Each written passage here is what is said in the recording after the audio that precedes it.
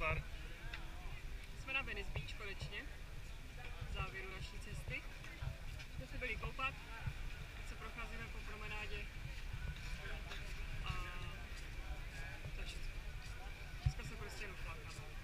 Odpočíváme. Večer dáme nějaké sajdry a grilovačku.